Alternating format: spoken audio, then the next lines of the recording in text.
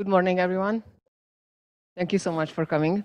Um, I'm Judit Romhányi, and I'm going to be the chair for uh, this morning tutorial.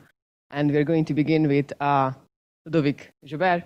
He's going to teach us about um, classical quantum, uh, sorry, classical Monte Carlo simulations in frustrated systems. No quantum, right? Just Yes. classical. Okay. Perfect. Okay, very good. Can you hear me? Yes, I think it seems to be working. Uh, so welcome everyone. Thank you for being here today with us this morning, uh, for people present here and for people online. So as Judith was, uh, was saying, I am going to tell you a story about Monte Carlo simulations. So uh, it will be a, with a bit of a long introduction and then going to more, a bit more technical details along the way. The goal is of this lecture will be to give you a few examples of techniques, of classical Monte Carlo techniques, to study especially frustrated magnets. So uh, in particular, I will focus on frustrated magnet because that's the goal of this, uh, purpose of this uh, conference, uh, which means I will not spend uh, time or much time on like uh, some of the cluster algorithms, which are more focused and dedicated to critical phenomena, which is usually not the main focus of what we are doing here in uh, frustrated magnets. And as usual, feel free to interrupt me, ask questions. I will try to answer, will answer to the best of my uh, uh, capacity. So first, a very general introduction. So as you see here on my slides, I'm talking about two-body problems. So it's just a general way, I mean, as physicists, we are trying to look, for example, at uh, uh, mechanics of, uh, of uh, mechanics of body. And if you remember, I mean, depending on where you're coming from, either in high school or in college or maybe in kindergarten, I don't know, you learn about the two-body problems, like about a planet and the sun and Earth. And at the beginning, when you're, I mean, when you start learning about that, uh, there is all of these fun facts about like geometrical, geometrical constraints and uh, Kepler laws and so on that allows us to uh, understand the behavior of planets and of, uh, of of stars. But quite quickly, we realize that actually two-body problems is very simple. I mean, it can be solved exactly. We know all of the solutions, but it's very simple. And already, when we try to switch to three-body problems, it's becoming much more complicated. So this has been studied for centuries. I mean, there was a lot of effort in the 19th century and also in the 20th. I mean, uh, just checking and uh, recently, I mean, even like a, a couple of years ago, people have used like neural networks to try to solve the free body problems numerically. The reason for that is because already with free particles, just free particles, and uh, gravitational interaction between them, the system is usually chaotic. So here I'm giving you an example which is not chaotic. So it's a, a stable solution. It's very weakly stable, but it is stable, which means that maybe somewhere in the universe there are three planets or three stars which are behaving this way and are really orbiting, uh, forming an eight in the universe together. But my point here is to say that already with your, when you have three particles, uh, interacting to each other, that's already very complicated. And we can, in most cases, we cannot have exact solutions or they are extremely mathematically difficult to obtain. Uh, now, as you know, when we start to consider n-body particles, uh, like uh, several, particle, several planets and sun together, that's already becoming very challenging. And then you have to resort to some uh, numerical calculations or some approximations and so on. But the thing is, if we are here today, it's because we're not studying planets or suns, we are studying uh, condensed matter, in particular, frustrated magnetism. And so our everyday life, it's not about planets, it's about studying not the uh, infinitely large, but the infinitely small, and the behavior of atoms in this crystal. And so the kind of questions we have to answer are this, like we consider a complicated uh, lattice in 2D or in three dimensions. We add like complicated interactions, Heisenberg, anisotropic, Dzyaloshinskii-Moriya, and so on, or long-range dipole interactions. Sometimes we have impurities, sometimes we have a magnetic field. And all of them are competing and they are not happy to be together. And when you get all of this, at the end of the day, you have to look for the dynamics and see how they move together.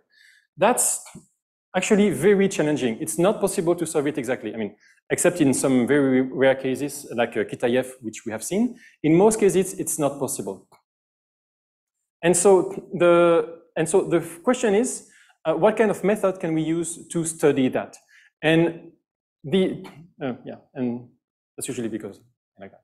Uh, and so the, and, and this is why we need uh, different techniques. So analytically, we need to be able to manage many different approximations. like uh, uh, some field, field theory, mean field theory, but also some gauge field theory and so on. Uh, and numerically, there is a plethora of numerical techniques to study these models with uh, variation of approximations. And the reason I'm talking about that is because one of the strong suit of Monte Carlo simulations and why you are here, why you should be listening to this lecture today is especially the versatility, versatility, yes, of models that we can study. So the point is, all of these different interactions, as anisotropic as you want, long range, with impurities, uh, and so on, with a magnetic field or not, they can be studied uh, straightforwardly with Monte Carlo. This is not an approximation, so if you manage to get, uh, so I will talk about the, uh, uh, the uh, disadvantages in, a, in an instant, but most of the time it gives you the correct result, which means it is not a mean field approximation. The critical exponent are not going to be mean field. If you manage to get big enough system size and so on, you will get the proper exponent of the uh, first conditions. You, you can get order by disorder, which is a very subtle, complicated phenomenon, but you can get it naturally in Monte Carlo simulations. You can measure whatever you want, because the point is, uh, during a Monte Carlo simulations, at any time, you have a snapshot of the spin configuration. So you can just look uh, which spin, uh, any spin you want at any time you want. And you can compute whatever, any kind of order parameter, specific it, or anything which is exponentially uh, relevant. You can reach large system size, so it's not limited to small ones. You can get uh, large ones. And uh, we forget that quite often, it's done naturally at finite temperature. And experiments are always done at finite temperature. So you get the temperature uh, immediately with this. Now, there is one last point that I want to uh, emphasize. It's Monte Carlo helps you to build an intuition because since you can do all of this, at the end of the day, you can, you have a, you can have build a very good, strong intuition of the model you are studying. Now, of course, there are drawbacks. The main one is that it's not quantum. I mean, you have quantum Monte Carlo, of course, but then you hit the problem of sign problem and so on, which is famous for frustrated systems. Uh, but it is, um, so it is not quantum. So you have no entanglement, no Bose-Einstein condensate, even if you can sometimes trick with that. Uh, and the other issue is thermalization. If you see Monte Carlo as a numerical experiment, then uh, as an experiment, you can have problems of uh, thermalization of your system and that and so the system may fall out of equilibrium. So what I'm going to tell you today is about different techniques and improvements you can use to try to solve these problems of thermalization and to have a well thermalized Monte Carlo. Uh, so now the when uh, I mean you might ask if indeed classical Monte Carlo simulations have no quantum fluctuations, you cannot study quantum systems. Uh, and the problem is in, in matter, in real life, almost everything is quantum. I mean, to a large extent, you always have some quantum fluctuations, some quantum covariance. So does it really make sense to study classical systems? Well, the best way to show it is by, by uh, examples. So this is, so here I'm going to show you a few examples. I'm not going to go into the details of these materials or the techniques, not yet, but just to show you the, uh, what you can do with classical Monte Carlo. So this is neutron scattering experiments on erbium titanium materials. And when you uh, simulate this material at finite temperature, you get this structure factor, which is very close, as you can see, from the one you obtain uh, experimentally. Now, one thing to keep in mind, as you see, it's T over TC is 1.22. And that's a general feature that when you try to compare classical Monte Carlo to experiments, almost always you have a shift of the temperatures. Like the temperature in experiments, transition temperature experiments might be different from the one in your simulations, and so you need to rescale them. Uh, and so that's what we, we do there. But once you do this rescaling, you have a very good match between these. So this is also the same for ytterbium titanate, for another frustrated pyrochlore system, where you have the main features that you can see in the scattering of neutron scattering experiments, you can reproduce them in simulations. Uh, a more uh, basic but important question is what happens when you have strong complicated Hamiltonian? So for example, terbium titanate in a 110 field, they found this kind of long range order in it, which can be seen as kind of double layers of topological charges. So uh, it's, it's a complicated one. There, people had no idea where it was coming from. And the thing is, when you include magnetoelectric effect, as Carlo was talking about on, on Monday, and when, when you include that, in the Monte Carlo simulations, you can do interactions between dipolar, uh, electric dipolar dipoles, between magnetic dipoles, we can add nearest neighbor exchange. And when you do all of that in the simulations, you get this long range order and you can explain the long range order observed in Terbium Titanate. So, so far I've been telling you examples of power rare earth pyrochlore systems.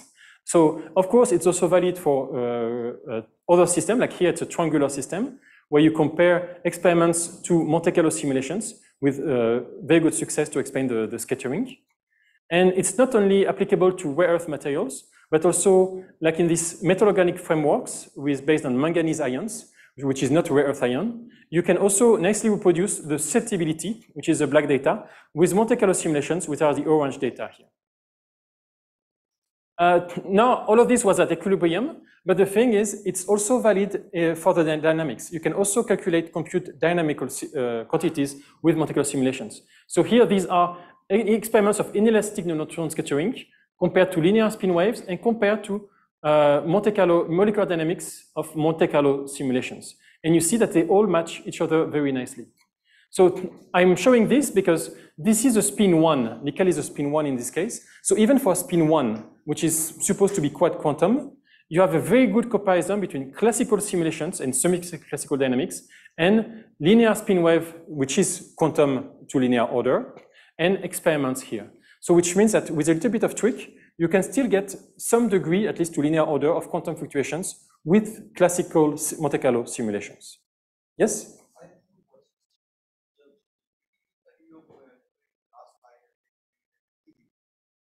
Uh, no, the, in the previous one, actually, they were all Heisenberg spins, Heisenberg systems. Uh, in this uh, dynamics where you're talking about uh, what's the how to define time in Monte Carlo? Uh, so that's the thing. You do, in this case, it's not Monte Carlo time, it's molecular dynamics. So if I have time, I will talk about it at the end of this lecture, but it's actually real time. Uh, so it's not the stochastic time of Monte Carlo, it's a real time uh, based on non, uh, based on Bloch equations. Yes? Do you have what? Temperature.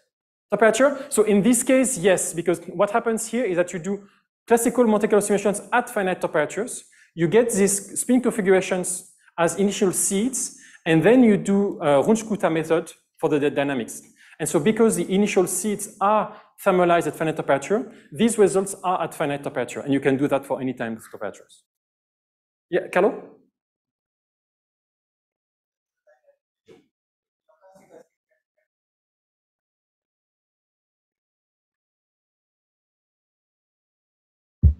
Yes, it works. So uh, when when you do classical Monte Carlo, I assume that it, it, you have spins, well-deformed, yeah. well, well-formed spins, and it can describe very likely magnetic ordered states. Mm-hmm. So when you do dynamics, you get the say the, the dynamics or spin waves of ordered magnet. But can you also get excitation spectra of say spin liquids, disordered systems?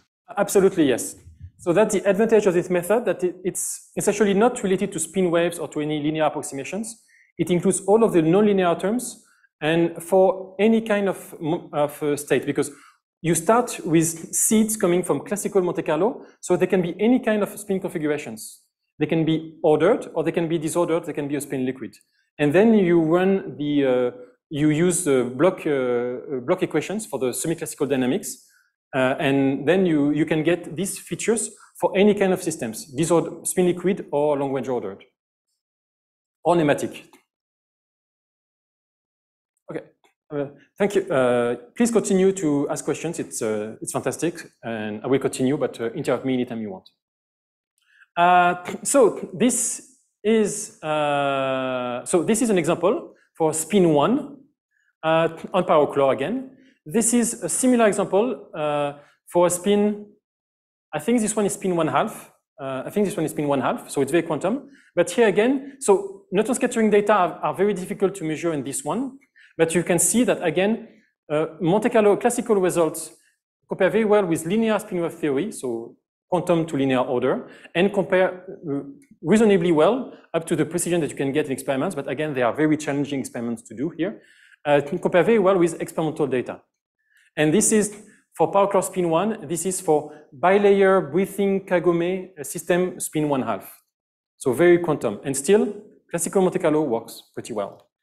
Uh, then there is this paper which was published recently and that uh, people here in the audience know better than me, uh, which studied uh, classical Kagome systems and where they find at low temperature, uh, using NMR and uh, T1 measurements, they find a linear behavior in T1, which was expected from semi-classical dynamics uh, on the Kagome systems here. So that's, that's a very nice paper just published last year.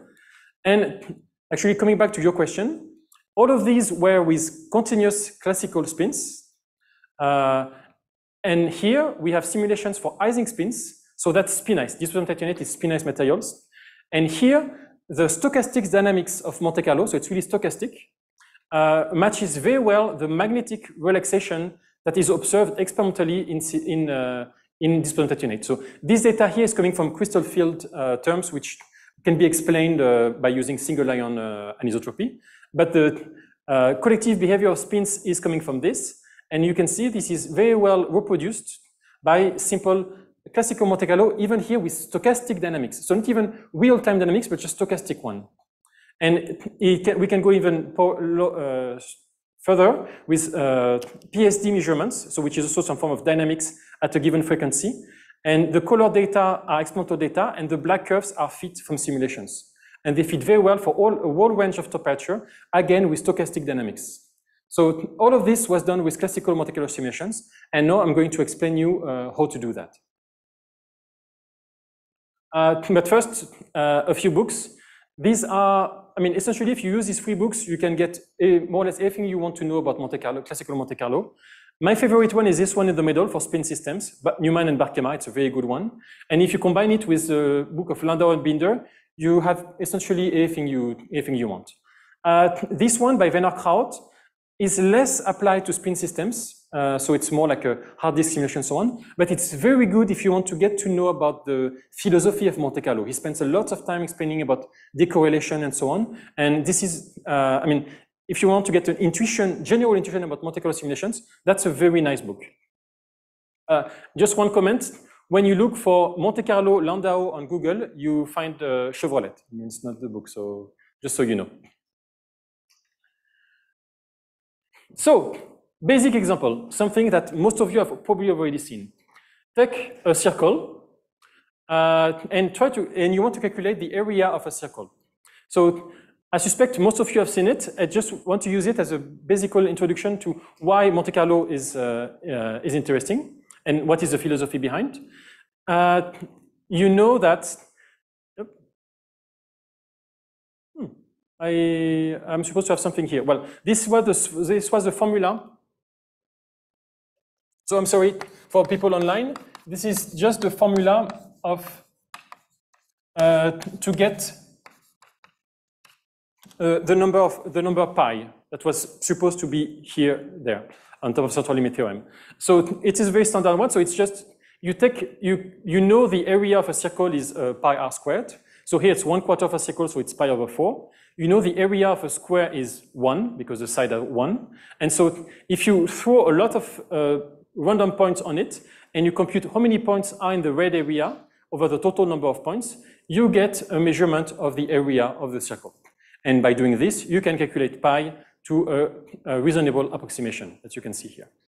Uh, now, uh, central limit theorem tells you that the relative error grows like 1 over square root of n. So the more points you get, the uh, more precise the answer is, but it only grows like the error only diminishes 1 over square root of n. And for a 2D system like this, it's not very interesting, to be honest, it's not very efficient. But uh, if you have a, like a 20 dimensional integral, like if you want to, inte to integrate something in 20 dimensions or even more, uh, then Monte Carlo becomes especially good for this multi, kind of multi-dimensional integration. And that's frequently used in high energy physics, in particle physics. But my point here by showing this example is just uh, forget for a minute, uh, forget about uh, physics, forget about mathematics, and just imagine that you are in a universe that is square like this. You don't even know the units. You don't even know it's size one uh, or anything. You don't even know numbers. You just know that your universe is square and that you have two countries, the red one and the blue one. Now you don't know anything, math, numbers, anything, but you have a perfect random number generator. And so what you do is you just do that. Even without knowing anything, you can just do that. And immediately you will know the ratio between the, the, the, two, uh, the two countries. And you will be able to compare the area between the two countries, even without using mathematics or anything. And that's the power and the usefulness of Monte Carlo. So that's what I put here. At the beginning, you set the rules. Here, the rules are very simple. It's a square universe. You have two countries, red and blue. Let randomness do the job, and you just look if your random number generator is in the red region or in the blue region. And after that, you analyze. And by counting, actually, no, you need to be able to count. So you need to know uh, numbers like one, two, three, four, but that's all. Uh, you count this uh, number of, uh, uh, of points and you get the area automatically. So that's, that's the usefulness and that's basically what we do with Monte Carlo all the time. And I want to insist on this part, analyze, because that's basically, that's, that's a fun part. That's what makes us physicists, which is we have a, we have a model, we let randomness do the job, and then at the end we analyze the data. And of course, then you have a feedback loop where once you have analyzed the data, usually you come back and you set new rules, like you modify a bit the parameters. You have a, a little bit less of Moriya, you have a little bit more of dipolar interactions and stuff like that. Okay, now a little bit of history. You, uh, you might know these names, like Metropolis. And so these are the people that are the beginning of uh, Monte Carlo simulations. As you can see from the black and white, the, it's not new, it's not recent. Uh, so the first paper with Monte Carlo uh, in it was from 1949 by Metropolis and Ulam, which are these two gentlemen here. And here at the beginning, it was not really about simulations, more about using randomness in computers. And it was essentially, especially about uh, like uh, uh, integrals. Like here, they especially give the example of 20-dimensional integrals because they, we, they needed that to calculate the uh, calculation, to make calculations at Los Alamos uh, for neutron scattering, uh, for neutron radiation, actually. Uh, but then a few years later, these people which are here uh, gave, used that to make a simulation of Monte Carlo. So they used randomness to make the first Monte Carlo simulations. And I should say that so Metropolis is the first author, and people usually know Metropolis for the algorithm Metropolis. Uh, but apparently, so there is some controversy. I mean, I don't know what is true or not. I mean, the controversy came like literally 50 years after this paper, so it's difficult to know what is true or not. But apparently, Metropolis, uh, he's a guy who was building the computer. So building the computer was really state-of-the-art engineering at the time, but he was not necessarily really involved into the Monte Carlo uh, calculation simulations. So the people who derived the physics of the Monte Carlo simulations seems to be these four people here. And in particular, the first people who have uh, coded Monte Carlo simulations are Arianna Rosenbluth and Augusta Teller. So I think these two people are basically the first one to have ever done a Monte Carlo code uh, in history. So that, well, that's pretty cool. Uh, and by the way, as you can see, it has been slightly cited. So when, when you when you paper reaches that point, I mean, I, I pay you a beer, promise, or, or any kind of uh, beverage you want. Tea is good also.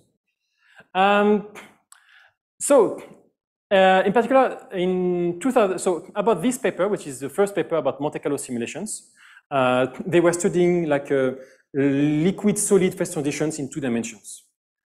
Uh, so Rosenbluth, who is one of the authors, said in 2003 that uh, one of the crucial idea was to take ensemble average instead of following detailed kinematics.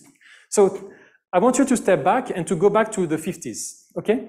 We're in the 50s, computers are a brand new thing. I mean, before that, it was experiments or pen and paper calculations, okay? And now computers arrive. And for the first time, people are trying to think about simulating uh, experiments, simulating real life. So when you do that, when you have never done that before, the first thing you think to do is really being as close as possible from experiments. And so that's why people at first thought about, about kinematics. Like you see a particle, you want to be able to follow the particle and you let it move like Brownian motion, and then you take snapshots and you see when, uh, when you get to the data you get and you analyze this data. But actually the thing with Monte Carlo simulations is that you don't have to follow the movement of particle. You can just take an ensemble of particles and that's what matters you can make an average of an ensemble of independent configurations, and you don't have to follow uh, the dynamics of a, of, a, of a system, it being a particle or spin systems or anything. And these are two very uh, important distinctions, which is ensemble average over time average. So StatMech tells us that when you are at equilibrium, the two are equivalent. In experiments, you, you don't usually, I mean, it depends, but you don't usually have access to the ensemble average, but in simulations, you do. And so that was this big step, which was done uh, something like uh, 70 years ago, which was to simulate not real system, so not the dynamics of the system, but to try to be, or to optimize the measurement of ensemble average. And then coming from that, the point was uh, everything is uh, summarized in this sentence. Instead of choosing configurations randomly, then weighting them with, with a Boltzmann factor, we choose configurations with a probability of the Boltzmann factor and weight them evenly. So that's a key point because choosing configuration randomly can take a long time. I mean, if you have n spins, it will take the n, n random numbers. And then in the end, you calculate the energy and the energy might be very high, and so it might have a very small uh, Boltzmann factor. And so this is a very inefficient way to uh, uh, simulate a system. But on the other hand, if you have an efficient way to choose the configurations with a good Boltzmann number and to then to weight them evenly, that would be much, much more efficient.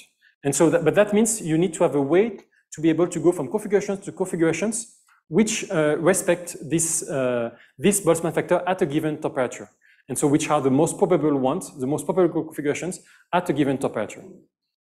And that's the whole point of Monte Carlo simulations. Okay, so now Monte Carlo, uh, this was, a, as I said, a lengthy introduction, but what is Monte Carlo simulations? Let's take the master equation. So master equation, Wi, that's the weight of a state. So here, I and J, and throughout most of my talk, I think all, if I didn't mistake, I and J, they're not spins, they're not sites, they are two different states, okay? So this is a spin configuration, and this is a spin configuration. I mean, uh, I is a spin configuration, and J is a spin configuration. So for example, uh, for the people online, I'm going to, to explain what, I mean, it's a very small drawing. If you take two spins, you have four states.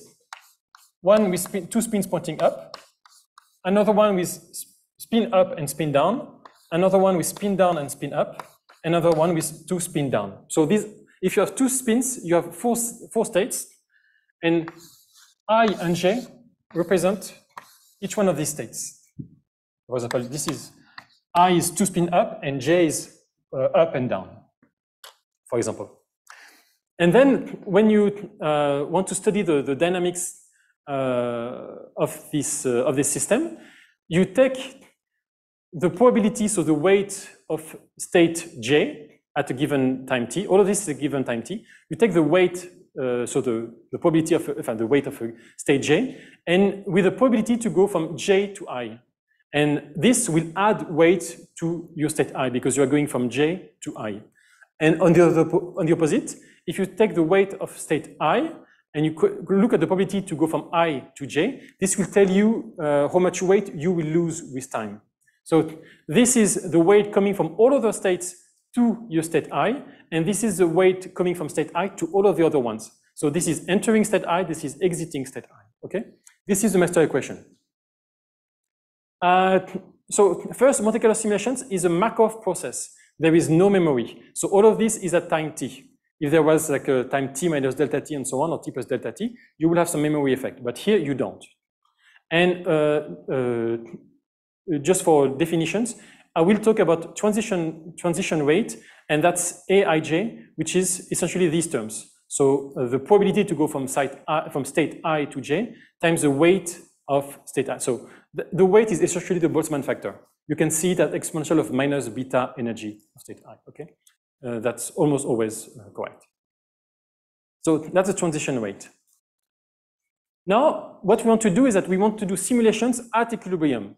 So that's a strong point because there are many way, many times where you actually want to do things out of equilibrium, but here we will focus about what happens at equilibrium. And even we'll, even for the dynamics, we consider the dynamics at equilibrium, okay? And so because we are at equilibrium, we don't want to have any variations of the weight with time we, we might have some transient time, but once we have reached equilibrium, this is equal to zero. And so which means that the right part of this equation is equal to zero. And this is how you solve Monte Carlo simulations. You take this right part and you impose detail balance. So for each state j, for each pair of state j and i, you make these two terms equals. So the transition rate from i to j equals transition rate from j to i. And that gives you this detail balance here. So you see, this is a strong uh, constraint because you could impose this condition without imposing this constraint because this is putting, this is making everything zero for each one of these terms. While what you want at the end is to have the whole sum equals to zero. So there are some algorithm that breaks detail balance, but respect the global balance here.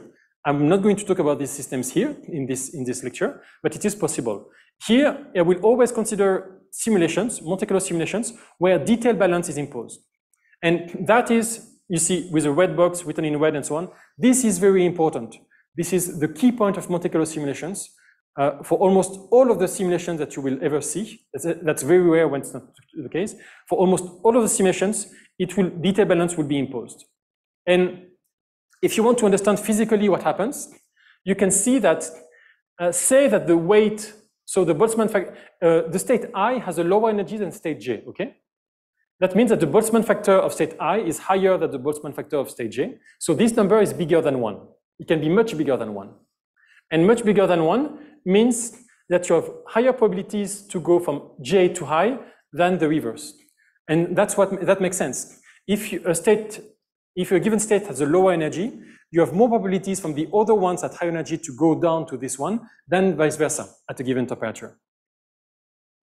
I mean, of course, this is a Boltzmann factor, which means if you put infinite temperature, very, very high temperature, all of these energies don't matter. And this is one, this is one, and this is one also. So at infinite temperature, you can go from I to J without wondering about the energy. But as you cool down the system, you get a difference in Boltzmann weight, and this is where you get this change of probabilities. So again, this is crucial. This is a key point of Monte Carlo simulations. This is where the physics come from. This is it looks very simple, but this is really the point, the only thing that makes Monte Carlo simulations physical.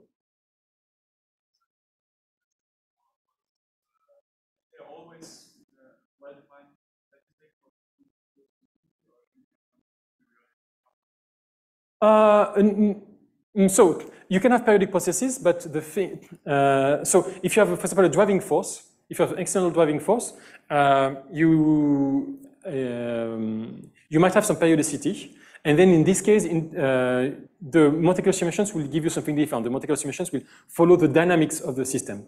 And so the point is uh, to use enough Monte Carlo simulations at a given delta t of your dynamics to make sure that you are able to, uh, uh to uh, measure or simulate the real physical quantity uh, with this driving force here.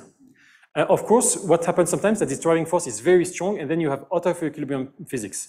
And you can still use Monte Carlo, but then Monte Carlo really explores the uh, out of equilibrium physics and the out of equilibrium dynamics, and that's a different uh, that's a different uh, philosophy.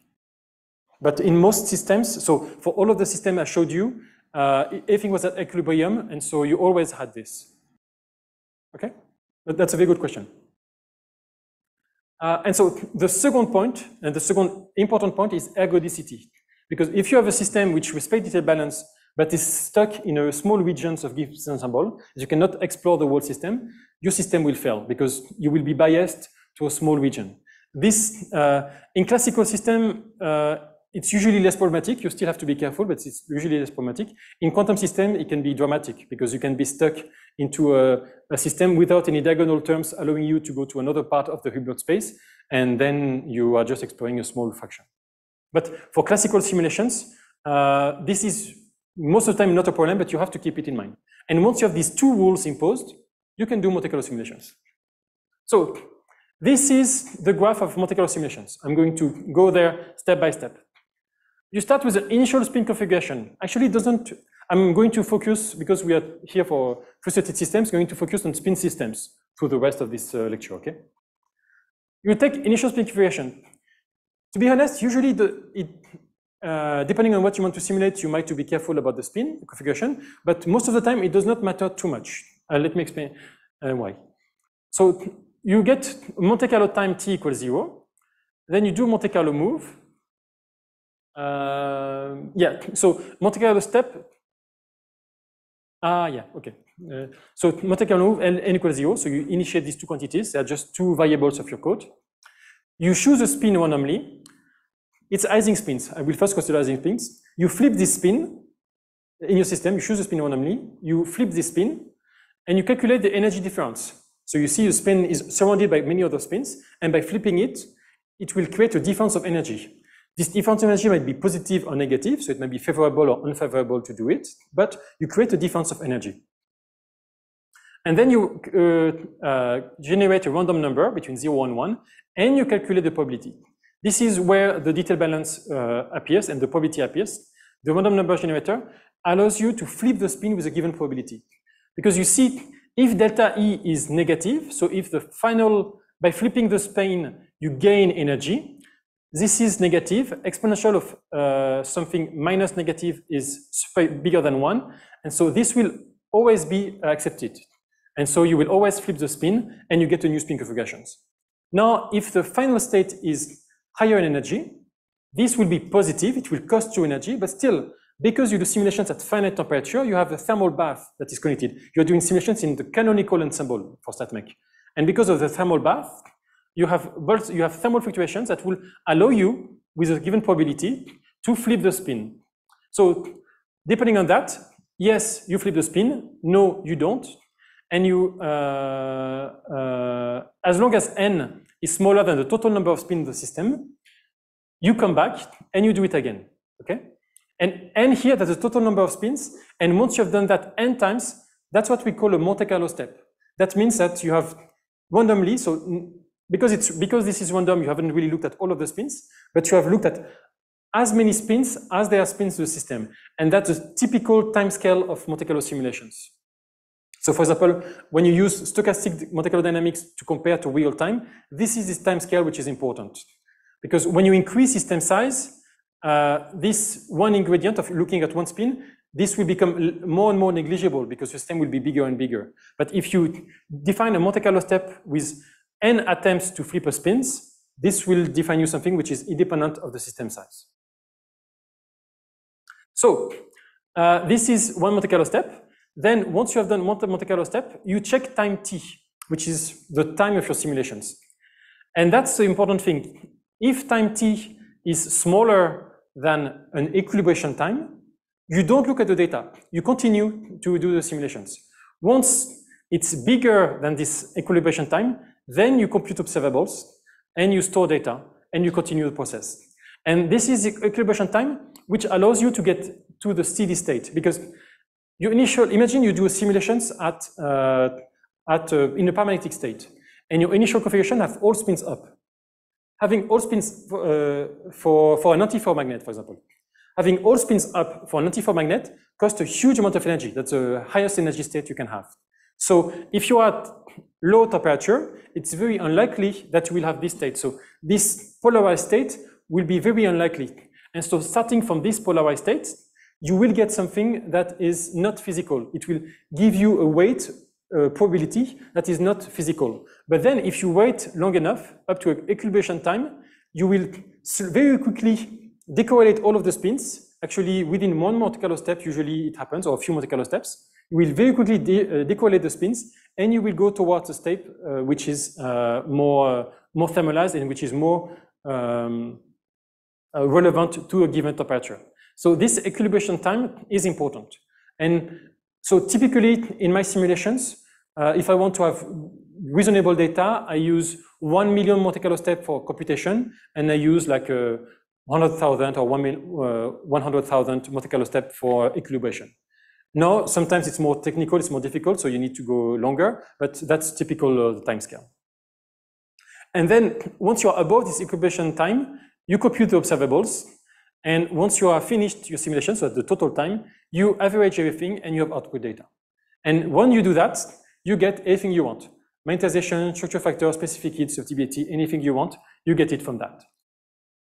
So this is the Metropolis algorithm. Uh, and as I said before, it's really Metropolis, Rosenbluth, Rosenbluth, Teller, Teller, but that's a different point. Uh, uh, I think, I guess most of you have seen that at some point. I just wanted to summarize all of this to make sure that everyone was on the, was on the same page. Yeah. Yes?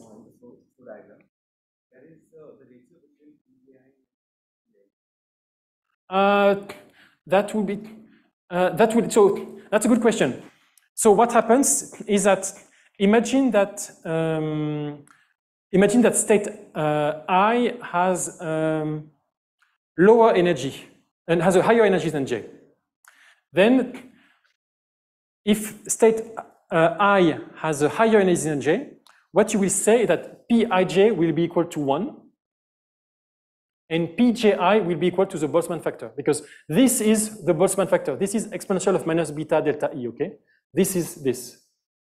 And, and so you see that you have, it's a ratio of two numbers. So you can choose the ratio, it's up, it defined up to a prefactor, so you can choose a prefactor.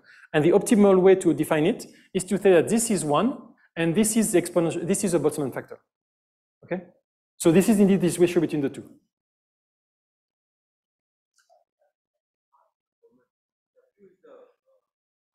Uh, w is a weight of state i, which you define as uh, exponential of minus beta ei. That's, that's a Boltzmann factor. And this is the ratio of the, yeah, the ratio of the two Boltzmann factor, which is uh, this term of exponential of minus beta delta E here. Yeah, yeah to, be, to be more precise, you're right. Uh, okay.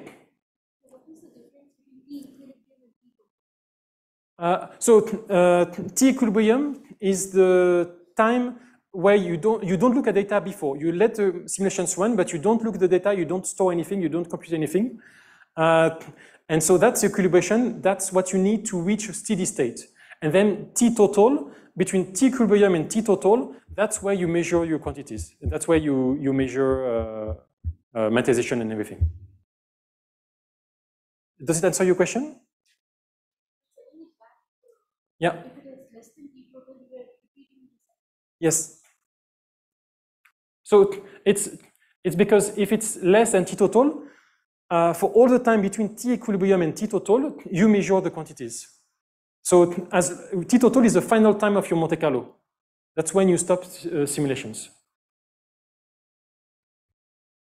And T equilibrium is when you have reached thermalization.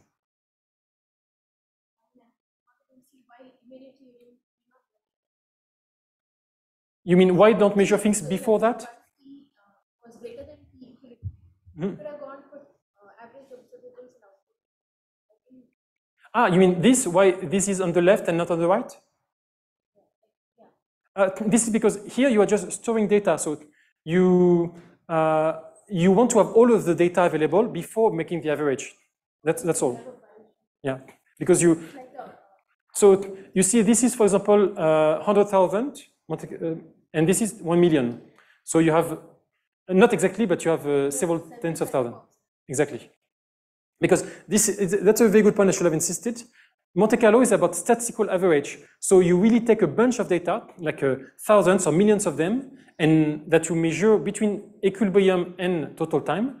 And with all of this uh, data, at the end, you do the average. And that's what Monte Carlo. Monte Carlo is really a statistical average. So that's, what, that's a very good point. I should have said that. Carlo, you wanted to say? So you first take measurement after you reach the equilibrium time. Yeah. How can you decide? Is it possible, for example, from the acceptance ratio? I mean that you have some, yeah, I accept, accept, accept, and then you start to, to, to, to decide that yes, I have reached the, probably I have reached the equilibrium time. Uh, so if you want to do it properly, what you do is that you compute the autocorrelation function. And if you do compute the autocorrelation, once you have decorrelated and you wait a little bit longer, then you have really decorrelated from the initial state, and you can assume that the decorrelation has brought you to a state which is thermalized at the right temperatures. In, so that's a proper serious way to do it. In practice, what is, what is useful is, um, well, with experience, you know that, uh, so personally I know that for normal systems, uh, even frustrated once, after 100 Monte Carlo or million Monte Carlo steps, the system is thermalized. But if you have a doubt, you can do it with what I do then, I do simulations, the same uh, total, so same measurement time, but different equilibration times, and I see if my data changes or not. So that, in practice, that's, that's also a different way, another way. Uh, the acceptance ratio is a bit tricky because um, if you're at high temperature, the, you will not have a very, a very different acceptance ratio between, uh, between the beginning and the end. Okay. Yes? Uh, so stochastic time, that's this. This is stochastic time in the sense of uh, uh, just take a, take a spin at random and try to flip it at random with this uh, process. Because this here, it respects detail balance. So it is a good way to uh, explore the Gibbs ensemble and to go from one state to another state which uh, respect the Boltzmann factor, and so which are physical at a given temperature. But it has actually, in practice, a priori, it has nothing to do with real time. It's just, um, you take a spin and you check if you can flip it or not. So it is not completely unphysical because you can imagine that in your system experimentally, you have a little spin and your spin has a, has a barrier, like an energy barrier, and with thermal fluctuations, using the Boltzmann weight, you can use, uh, you, you may have enough thermal fluctuations to pass over this barrier. So that's what you simulate here. But you are ignoring the fact that sometimes spins can have collective behavior, that sometimes two spins can move next to each other and that can, uh, so they can change things. And so this time is uh, not unphysical, and actually in, in, some cases, for some materials, it is physical time, but it's, uh, it has not been defined to represent uh, like real time. So that's why it's stochastic, as opposed to real time, which uh, are defined, for example, in Bloch equations, which I might have the time to talk about. Uh, okay, continue. Feel free to uh, to interrupt me, ask questions.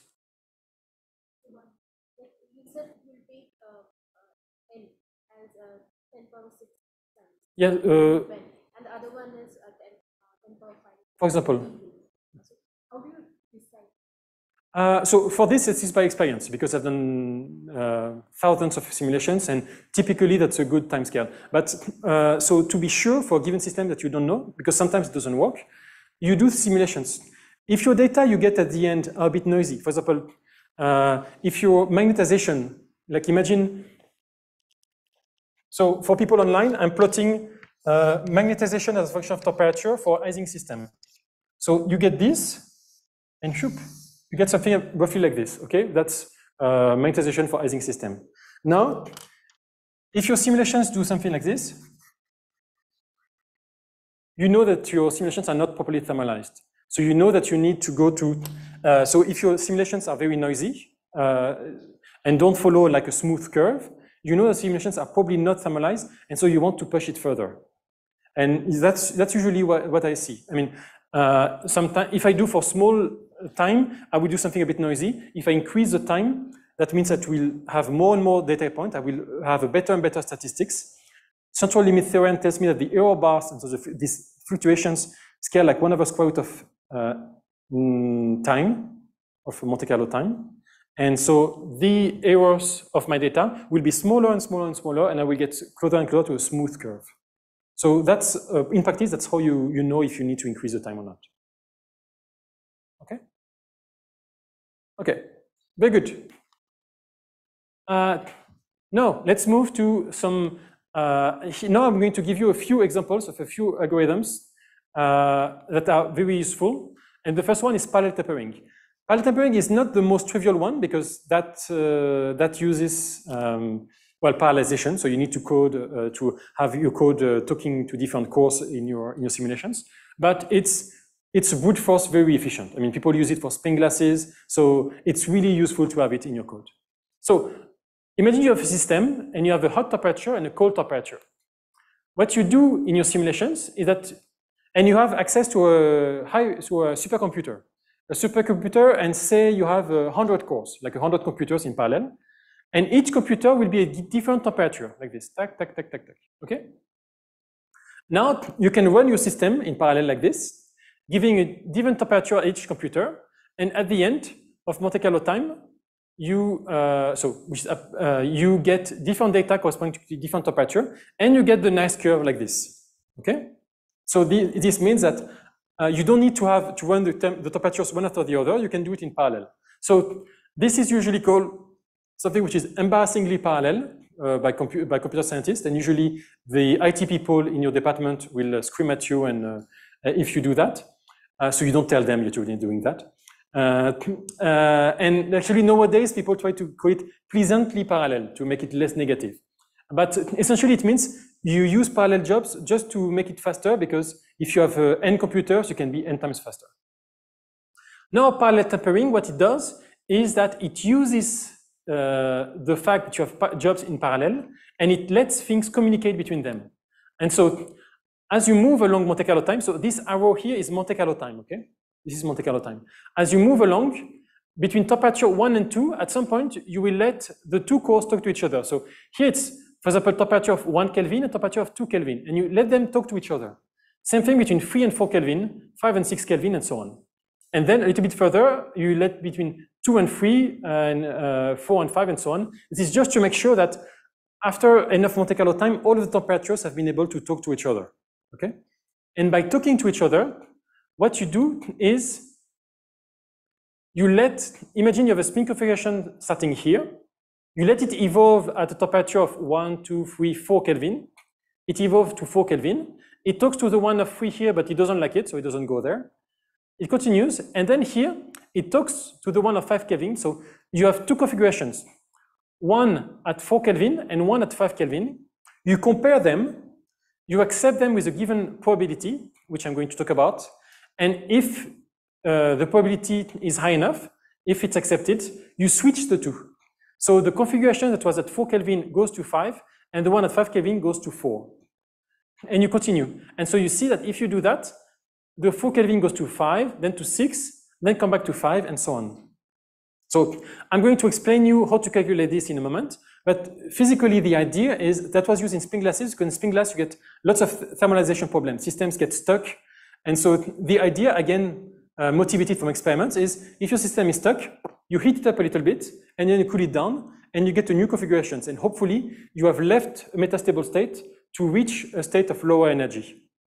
Uh, so that's very common in spin glasses. And that's what you do here because imagine your configurations here start at four, it's stuck here, you know, it's, uh, it's stuck in a, in a local minimum, in a metastable state, doesn't manage to, to leave and to do anything, it's frozen. Then you let, let heat, it, uh, heat it up to five, six, it could even go to seven, eight, and so on. And then you let it come back and say that after some time it goes back to four Kelvin. But then by letting it come back, it has left the metastable state because it has high energy to leave it. It leaves the metastable state and it goes into another state, which might also be metastable or might be lower in energy or might be the ground state. And by doing that, you can explore the phase space, you can explore the Gibbs ensemble very efficiently, and you don't get stuck at a given temperature, which will be what happens if you don't let the temperatures talk to each other. So, uh, again, I'm continuing, but yes. Uh, so, uh, you, for example, if you, so autocorrelation. If you calculate, so if you want to know for sure, you calculate autocorrelation, and if it's stuck, like this, you, you know that you, you, you cannot. That's, for example, that's a very common uh, quantity for spin glasses. And then there, is, there has been lots of literature about the evolution of autocorrelation in spin glasses. So then what you want, you, because the thing is, you still want to uh, uh, impose detail balance. You want detail balance. And so, but now you need to be a bit careful because your states are two states at two different temperatures. So blue is low temperature and red is high temperature, okay? Just, uh, so imagine you start from a state I at low temperature and J at high temperature and you want to mix them. Detail balance tells you that this, when you take the ratio of the probability between this and the reverse phenomenon, so J at low temperature and I at high temperature, and you reverse them, so, okay. Uh, this can be written, big, you can say that the probability will be independent, uh, can be uh, deconnected. So what I mean is that the probability, here you can see it as a probability from state I at temperature T to go to state J at temperature T. And same thing here, state J at temperature T to go to state I. And this is the blue quantity here. The, and then you can do it at same thing at, uh, at temperature T prime, and this is the red quantity. So here, between the first line and the second line, you are just uh, separating uh, low temperature and high temperature, okay? And then once you have that, you can use detail balance, and you can put the, Boltz, the ratio of Boltzmann weight, and you can compute it, and you get this formula, which honestly is pretty simple for such a complicated phenomenon. Yes? In what kind of situations this uh, detail balance condition might might not work? So, uh, so the way to see it is, uh, you mean it doesn't work in the sense that it doesn't thermalize the system, or in the sense that you use a Monte Carlo that does not respect it. Yes, I mean, uh, not just in this case, even in the previous case, that uh, at the same temperature, for the same temperature, you showed that one detail balance condition. Yeah, so the thing is, um, so the for Monte Carlo simulations and for all of the Monte Carlo simulations that I have coded personally and that you will see in the literature, almost all of them, detail balance will always be imposed. So it, uh, it works in the sense you will always impose detail balance. Now there are some algorithm that breaks detail balance because um, detail balance can be stuck. Uh, so you, you might have difficulty to thermalize. And so one example is two-dimensional liquid-solid phase transition. So you, you take a box, like a square, you put some hard disk, and you increase the density of this disk. Of this disk. And what happens physically is that you have a liquid phase, then you have an exotic phase you have, where you have a, a broken rotation, and then you have a solid phase, uh, or um, floating solid phase, uh, well, solid phase, uh, where the, you have a quasi-long range order. And to see the exotic phase between the two, that's extremely difficult because as you increase the, the density, to really thermalize the system will take you ages, uh, super long. And so people have developed a code that breaks detail balance to be able to uh, thermalize the system. And so as a little uh, history fact, this problem is the initial problem that was studied by Metropolis and co-authors in 1953. And this was properly solved by Monte Carlo simulations 60 years later in 2010. Breaking detail balance. Yes? Like, like every numerical method, does Monte Carlo also suffer around the uh, critical point? Uh, it, it can, because you have a critical slowing down, so it can suffer. Um, then, if you want to study critical points, especially for Ising spins, you have lots of uh, like cluster algorithm, like Swendsen-Wang or Wolff algorithm is even better. Um, then for Ising spins, if you have a first order transition, you have the Wang-Landau algorithm, which is pretty good. Uh, but that's mostly for, uh, for Ising spins. For continuous ones, uh, parallel tempering, if the transition is not first order, if it's continuous transition, parallel tempering is very good. I mean, in general, if it's not first order, parallel tempering is very good for any kind of things. And it, uh, it uh, usually helps a lot for the critical slowing down. You can have some pathological system, but it's usually pretty nice. Then if you have a strongly first order transition, that's a different story and you might need to think harder. Yes?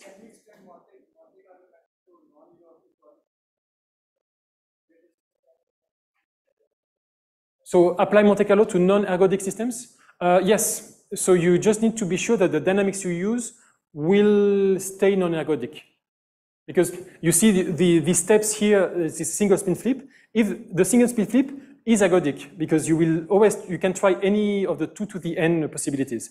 If you don't want that, you just need to make sure that your dynamical uh, update, your small update, will not explore a phase space that you don't want to see. It, uh, it actually happens sometimes. Uh, I may talk about it. Uh, I have 20 minutes. Well, I can tell you I will not go to the end of my uh, lecture, but, uh, but please continue to, uh, please continue. I mean, uh, I'm happy, I'm here for two weeks, so if you have any questions, I'm happy to talk later. Um, so about parallel tempering, so the thing is, so to come back to your question, uh, the thing is, when does it fail or not?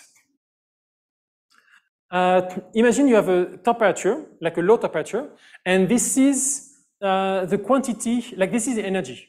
So at a given temperature, this is the average energy. This uh, dashed line gives you the average energy.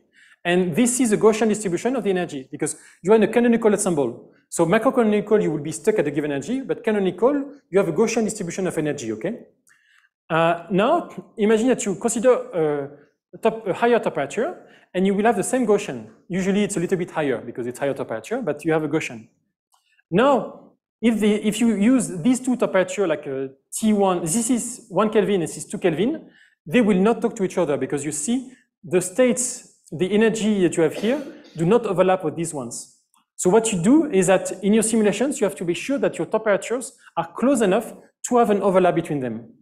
And then once you have an overlap, then they can, then the states from this low temperature, these ones can go to this, and these ones can go to this one. And then this, essentially this probability will be big enough to have some passage from one state to the, to the next.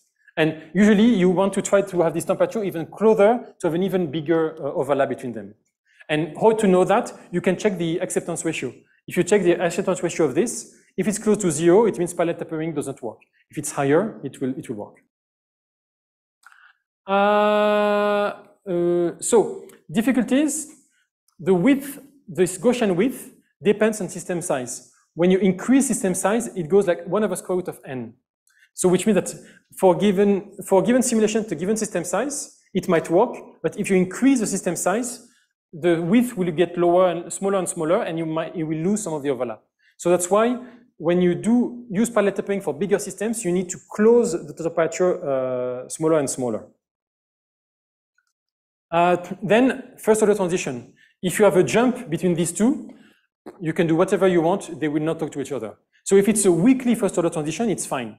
If it's a strong one, it will, uh, parallel tempering will essentially um, thermalize things above the transition. It will, it might also work below the transition, but it will not work uh, bit uh, above the transition. So strongly first order transition are not very good for parallel tempering. And also multiple transitions, even if actually that's usually not a problem. I mean, I have, I have simulated problems with like three transitions, one after the other, and parallel tempering was working very well. So as long as the transitions are not mean, basically if they're not too discontinuous, that would be okay. Uh, well, actually, uh, actually, I might, well, I don't know, I might make it, so yeah. Um, now, topological phase transitions with worm algorithm. The parallel tempering, that's really a brute force technique. You, you, honestly, if you do Monte Carlo simulations, it's a good idea to spend some time, a few days, a week or so on, to manage that and to code it because you will use it very often. Uh, worm algorithm, that really depends on the system. I'm talking here about because I think it's pretty nice. And also it's a connection to quantum Monte Carlo because worm algorithm was, is used a lot in quantum Monte Carlo. And here I'm going to show you a version of it in classical one, but the underlying physics is very similar. So if you understand that, you can understand some of the aspect of quantum Monte Carlo too. And for that, I need to introduce a bit spin ice. I'm not going to go into details, I mean, uh, but uh, just to give you the basics. spin ice uh, is a model that describes some of these rare earth power uh, system, dysprosium titanate, holmium titanate, and so on. It's on the three-dimensional pyrochlore lattice, and it's with Ising spins. Ising spins are nice because when you have, for given tetrahedron, you have four Ising spins, so you have 2 to the 4, 16 states, and these are the 16 states of spinites for tetrahedron. Uh, here I'm going to focus on the ground state, which are these six ones. And as a matter of fact, you see that the ground state is highly degenerate. And it actually, eh, so that's definite. When you cool down spin ice, spinice model does not order, and you still have an extensively degenerate state. And you have a residual entropy and so on. That's what makes the physics of spin ice interesting. But what I'm going to do here to study a topological phase transition, it's Let's say we are stuck in the ground state. So the ground state is described by two spins pointing in and two spins pointing out. So that's the blue arrows and the red arrows. It's two in, two out. And then you put a magnetic field. Without the magnetic field, the six states are degenerate. With the magnetic field, of course, you favor the states which point up. Then you have the four states with zero magnetization. And then you have the states with spins pointing down. And so a magnetic field, you will want all of the spins pointing up. Now, uh, the thing is, if you were to do Monte Carlo for spin ice, that's easy. You just do single spin flip and that should work. The problem is, if you do single spin flip, if you flip one of these spin here, you see that uh, you will get three in, one out, which is an excited state. So you cannot flip a spin because that will make you leave the twin to out and you want to stay within the twin to out because the twin to out is essentially, it's a Coulomb gauge field it's, uh, so it corresponds to, uh, is described by the gauge field theory. And so it has some interesting long-range algebraic properties. So it's a good place to look at topological phase transitions. But to look at these topological phase you want to stay in this ground state. So you want, you don't want excitations, you want to stay there, and you want to study what happens when you put a magnetic field in this ground state. So you, do, you cannot have single spin flip. So you need some new kind of uh, algorithm. And to do that, to build it, let's temporarily, so really temporarily, flip a spin. This is the sweat spin here. I create two topological defects next to it. So you see, all of these are two in, two out, and this one is one, two, three in and one out. And this one is one in and one, two, three out. Is it, is it okay? You tell me if I'm going too fast. But uh, right now, you just need to understand two in, two out is what we want. Three in, one- three in, one out, three out, one in is what we do not want. But so temporarily, we flip this spin, and then you flip the next one. And then you use periodic boundary conditions to go through the system and come back from the top, and then you annihilate it. And you see that by doing this, you have, it's very common thing that we see in frustrated magnetism. You have locally created a pair of topological charge, which in this case are gauge charges, and which in this case are actually magnetic monopoles. They were the magnetic monopoles of spin ice. So you have created a pair of topological charge with a plus and minus sign. You let them move around, and then they make a loop, they come back and they annihilate each other. And by doing this, you have temporally created an, uh, uh, charges, you have annihilated them, so you go back to the uh, Coulomb gauge field phase that you want, but you have updated a whole loop of spins. So you have been able to update the system and to create some dynamics while respecting this constraint of two in, two out. And this is the kind of this is the kind of move that we need. So you see, it's not a local one; it's a non-local one. But this is what we need to describe this topological phase, this gauge field theory. And this loop algorithm, the problem is, without a magnetic field, it's fine. You can just create a loop, and it costs no energy because everything is degenerate. But when you have a magnetic field, you see that a string going from top to bottom of spins pointing down, that has an extensive energy cost. It has an energy cost that scales with the size of the system. So if you do that and you put a metropolis argument, it will almost always be rejected because it's a huge energy cost. So you cannot use that simply to thermalize your system. So you need to develop, so you need to develop a directed worm algorithm. So just for the sake of uh, terminology, when you create a loop like this, this is uh, a worm algorithm or loop algorithm, depending on people, they use both names. And now I'm going to teach you about directed warm algorithm, which is to create this loop and to accept it at the end automatically. Yes? Uh, yes. So that's uh, along, along this axis. Uh, along, that's a vertical one.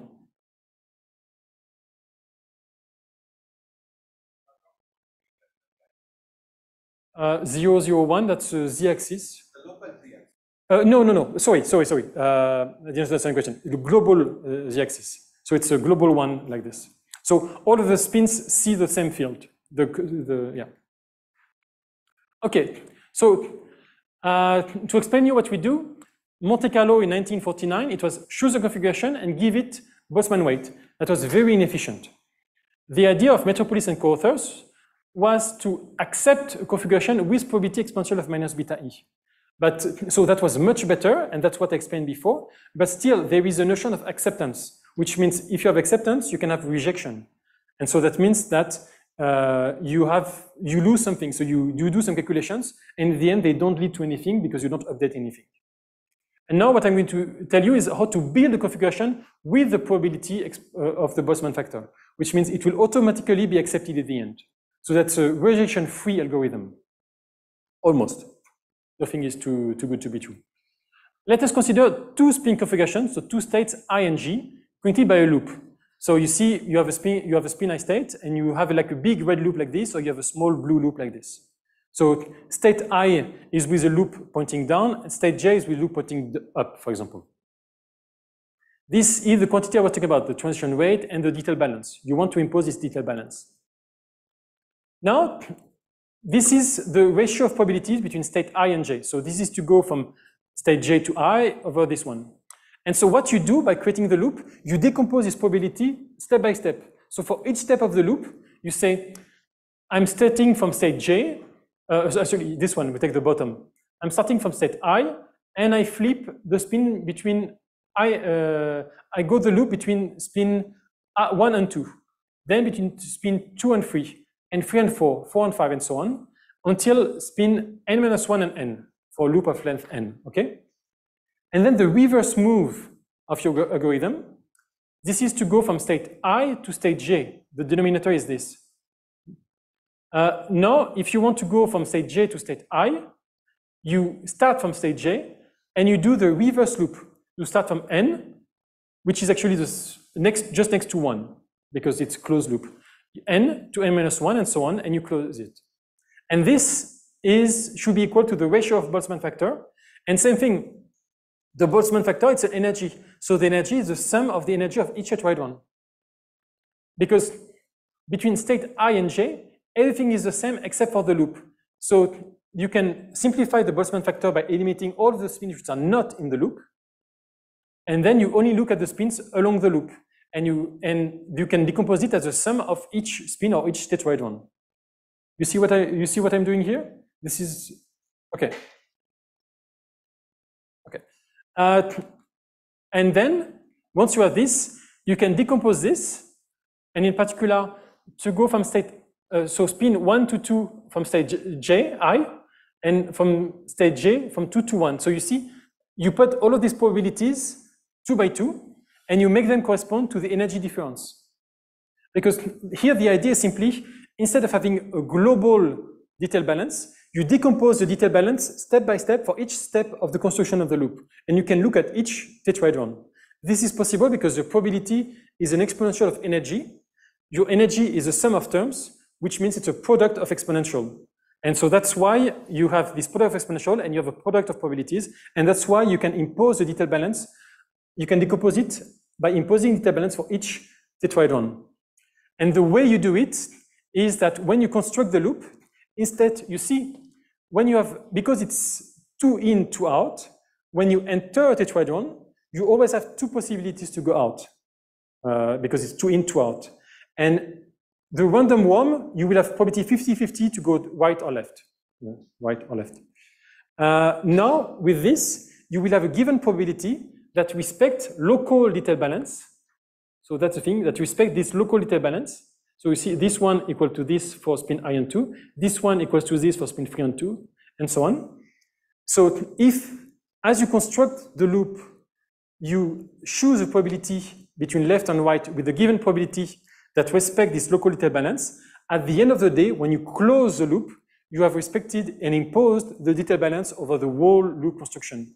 And so by doing this, you have imposed this equals to the ratio of the Boltzmann uh, factor, and this is equal. And so you have imposed the detail balance between those two states i and j. And that means you can just close the loop and accept it. So you see the importance of that because even for a system where excitations might have an extensive energy cost, you can still construct them and respect detail balance.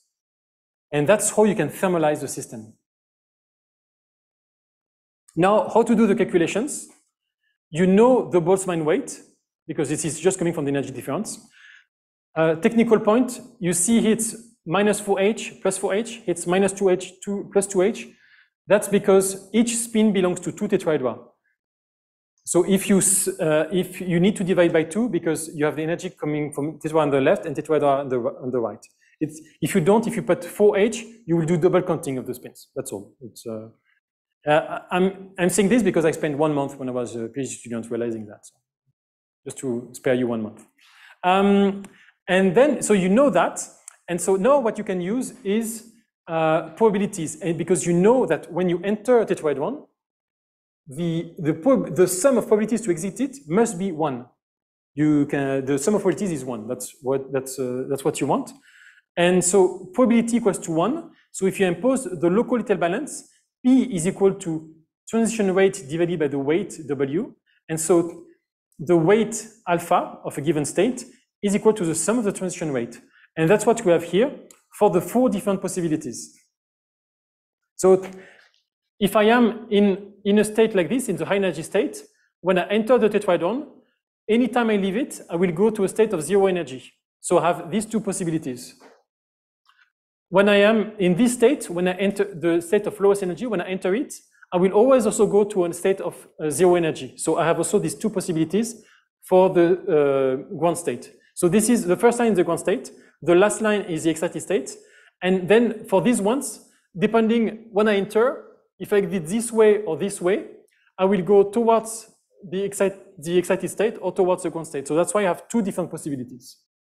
And these four equations are the four uh, possibilities I have when I enter uh, the tetrahedron. First, I look, what is the initial configuration? Is it excited, zero energy, or ground state? And then I look, when I exit, what is going to be the next state? Is it excited, zero energy, or ground state? And these are the four possibilities you have. Uh, I mean, it's really nothing magical. You just have to, uh, to count, and that's, that's actually very simple.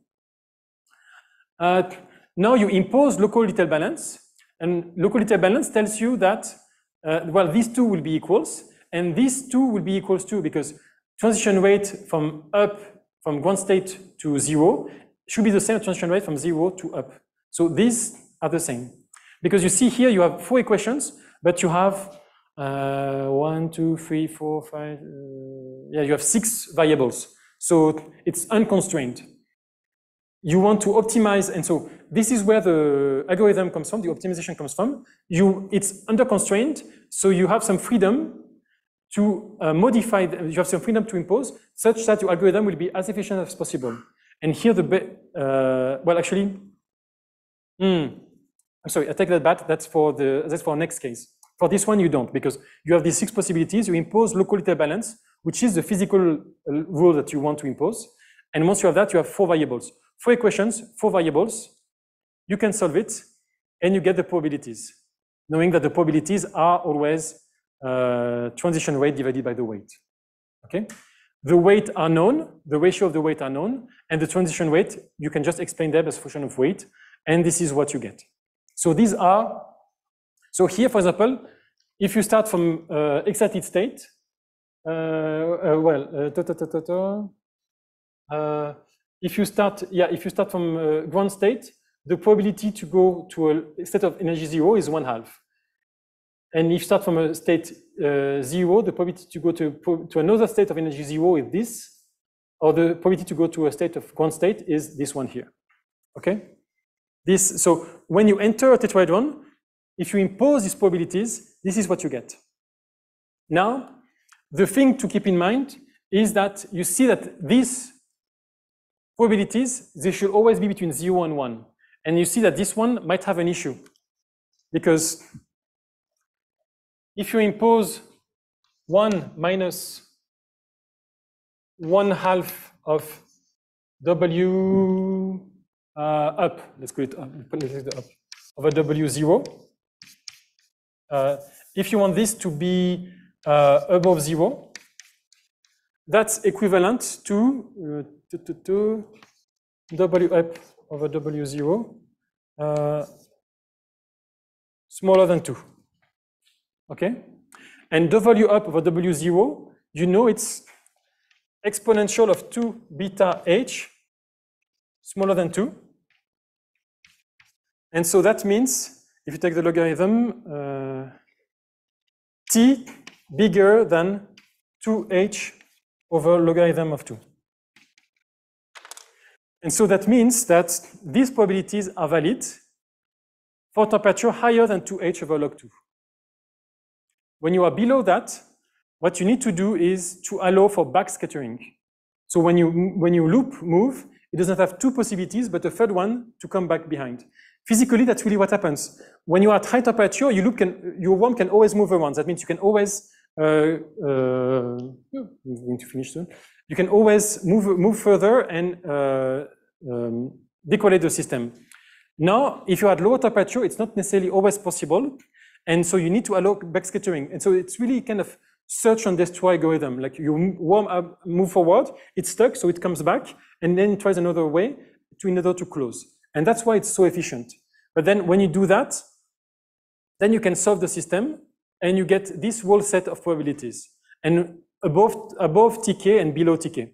And once you impose these probabilities in your one construction, you can calculate the magnetization as a function of temperature, and you get the red curve with a kink here. So that's a Kasteleyn transition, which is sometimes called a, a transition free half because it's it's continuous, like a second order, but there is a sharp discontinuity, a sharp kink, like a first order one.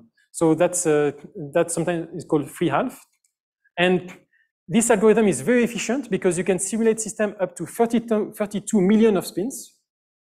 And you can uh, calculate quantities up to seven or eight orders of magnitude of the mutation. And you can get the position and the logarithmic uh, scaling up to this kind of order. And you can even play further and allow for uh, topological defects. And if you allow for topological defects, what happens that your, your worm is moving forward, it hits the topological defects, and then you can do a wormhole and move the topological defect to the beginning of the worm. This has a small energy cost, which you can accept or not by a small metropolis uh, uh, argument. But once you do that, you can uh, also include topological defects in your simulations. And by doing that, you can do simulations at finite temperature as in experiments, and you can compare your data with experimental data up to a rescaling of the transition of the, of the temperature. As I said, Monte Carlo simulations usually need a rescaling of the transition temperature, but you have a very nice match between the two simulations and the experimental data, which are the black dots for dysprosium titanate. And I think I've gone through, I've uh, finished, uh, yeah, this is uh, the end. So uh, I will stop there. Uh, thank you very much for your attention. If you have any questions or anything, I'm very happy to answer, and I'm here for one more week, so feel free to, uh, to come to me. Thank you.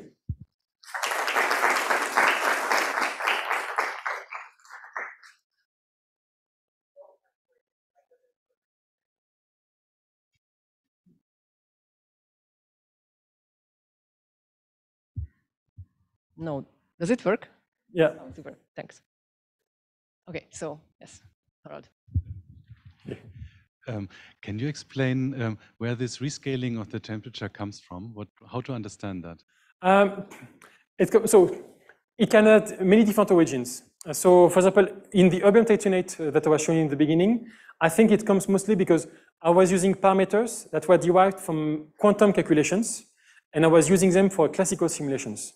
And so that, uh, and so naturally, you can have, you will have some uh, rescaling, and that's probably why I need it. Then there is a thing which is complicated, which is for, for spin one half, uh, classical simulations will give you s squared equal one quarter, while quantum simulation will give you s times s plus one equals three quarter. So right there, you have a factor of three between the classical and the quantum simulations. Here in this case, that's titanate is really an Ising system. So I think the rescaling is mostly coming because this is uh, simulations for nearest neighbor Hamiltonian, and we know that dipole interactions are important. So here in this case, I don't think it's really an issue of the uh, classicalness of Monte Carlo, because actually it's worked pretty well for this material. But I think it's because the model is a bit too simple, and I need to include, I would need to include dipole interactions. More questions? And to conclude on your question, uh, of course, there is a fact of uh, quantum melting. So in a system, even if it's a large spin, there might be some quantum melting, and this quantum melting will lower the order parameter and might also shift the transition temperature a bit. Yeah. So you mentioned uh, doesn't work, right? Or does it? Okay. So you mentioned that the only problem essentially that we have if we're looking at the classical system is thermalization, and you mentioned that you can see the thermalization whether there's a problem with thermalization by looking at fluctuations in your observables. So is there there- there's never any case where it just fails silently, where it just I don't know converges to wrong results, or Uh, well, it's not. mm, no, it, it can happen. For example, I mean, spin glasses. If you, that's a big question of how to thermalize spin glasses in simulations. That's a huge thing which has you have had work over like past 30, 40 years. Uh, then in our system, to be honest, in most cases, uh, if you spend enough time, like uh, I haven't showed all, all of the things, but if you use, for example, for classical spins, you use heat bath algorithm, parallel tempering, over relaxation, uh, that's going to thermalize all, almost all of the system. I have met a few really pathological ones. That's when you have a very sharp, strong first order transition. So parallel tempering uh, is out of the way. And you have long range order at a finite large Q vector or small Q vector, which means you don't have like a, uh, just like uh, the four spins of a tetrahedron which uh, map, but you need to use a, a cubic unit cell of 16 sites or sometimes even 32 ones. And then if you use local algorithm of Monte Carlo and with a sharp first order transition, it might be very tricky to simulate. But uh, so I have one, I have, there has been one model where it was very difficult and we collaborated with people in machine learning to try to really look at the fine details of the data. But even in that case, if you are very patient and you, uh, for example, what happens is that for small, because on top of that, you have order by disorder. So for small system, order by disorder will select a given Q vector. But if you increase system size, you can see that the Q, bright peaks of, uh, say, Q equal X will decrease, while the bragg peaks of q equals w will increase. And then you can do some finite size scaling and you can still see the long range order. So you need to be very careful, very patient, but in almost all of the cases, it's possible to solve it. Okay, thank you. Any, any more questions? Can you pass down the mic, please?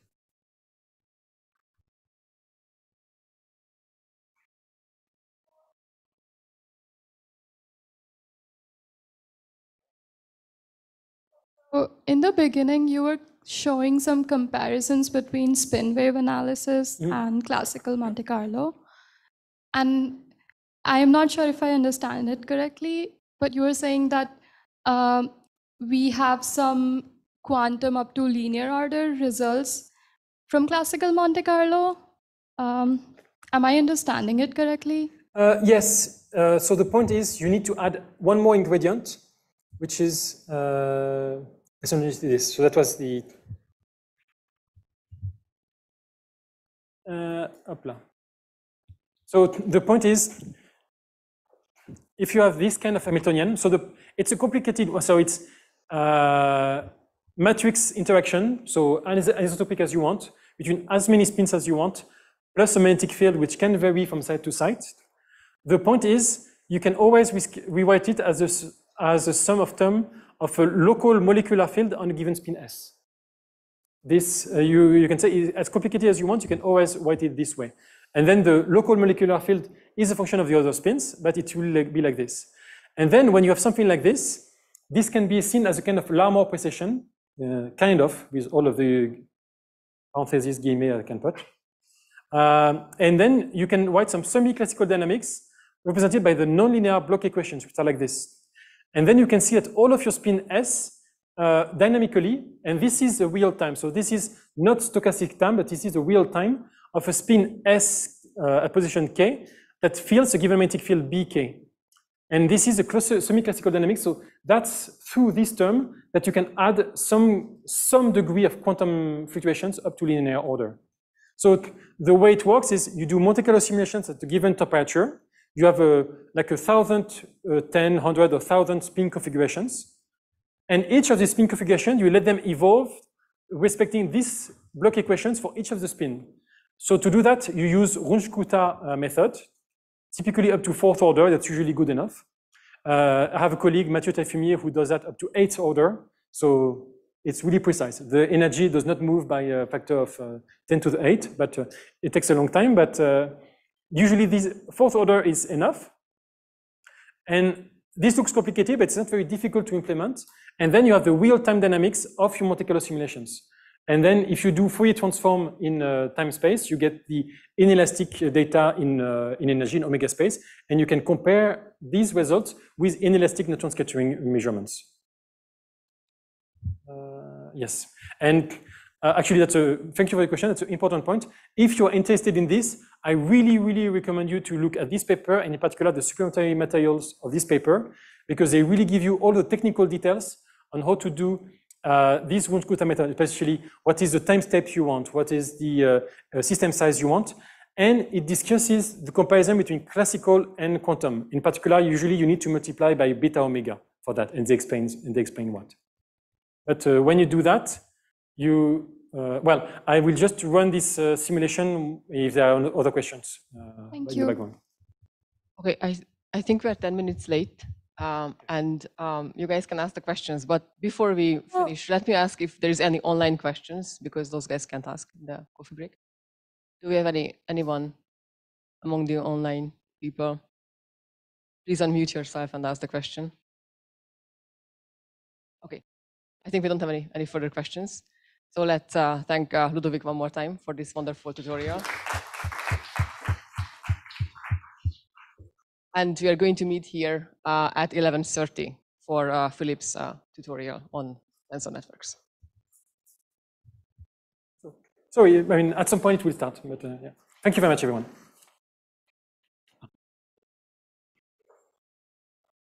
So this is what you can do with, um, so, okay, just to uh, uh, feel free to go and have tea and something. But uh, this is so. This was done by Rico Pohle, Nic Shannon, and uh, um, a very uh, very competent guy at, at IT, uh, Pavel, um, who used Carlo simulations and this molecular dynamics, and then they gave the data to Pavel, who used some powerful video software to represent them in real space.